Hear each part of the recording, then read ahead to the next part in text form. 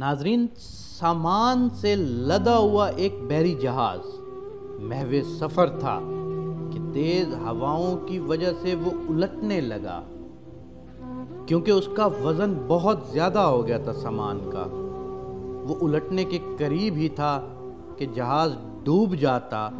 उसमें मौजूद ताजरों ने कहा कि बोझ हल्का करने के लिए कुछ सामान समंदर बुर्द कर देते हैं। ताजरों ने मशवरा करके तय किया कि सबसे ज़्यादा सामान जिसका हो, वही फेंक दें। जहाज़ का ज़्यादातर लोड एक ही ताजर का था।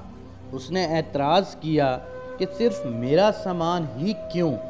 सबके माल में से थोड़ा थोड़ा फेंक देते हैं। उसने इसी बात पर एहतजाज किया। तो उन बाकी लोगों ने ज़बरदस्ती उस नए ताजर को सामान समेत समंदर में फेंक दिया। कुदरत की शान कि समंदर की मोजें उसके साथ खेलने लगी। उसे अपनी हलाकत का यकीन हो गया।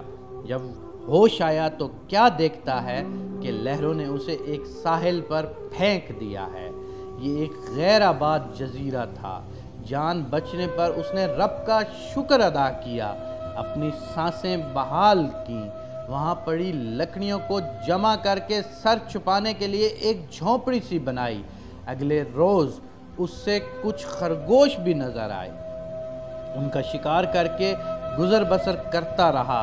एक दिन ऐसा हुआ कि वो खाना पका रहा था कि उसकी झोंपड़ी को आग लग गई।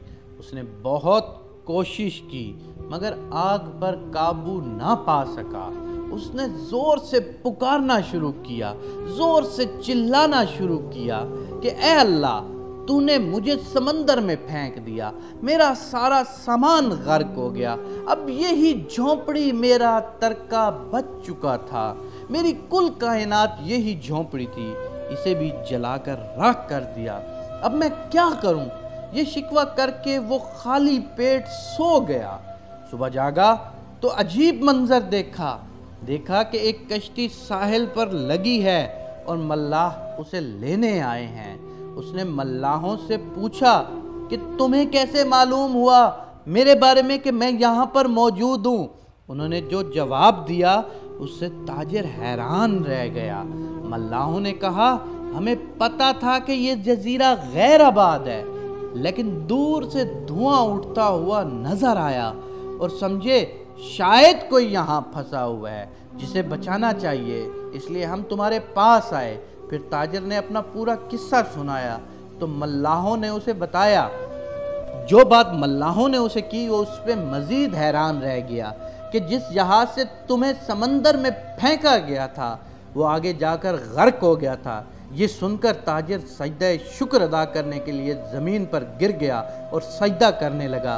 रब का शुक्र अदा करने लगा और कहा, पाक है वो ज़ात जिसने मुझे बचाने के लिए ताजरों के हाथों समंदर में फेंकवाया। अपने बंदों के बारे में वही ज़्यादा जानने वाला है।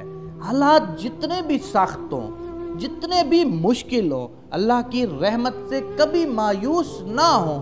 हर हाल में अपने रब पर भरोसा करें और हर हाल में अपने रब ताला का शुक्र अदा करें।